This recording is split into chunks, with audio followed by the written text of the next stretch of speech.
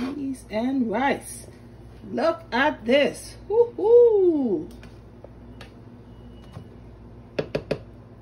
Perfect. In my Curtis Stone pot. In my Curtis Stone pot. Just check it out. Check it out.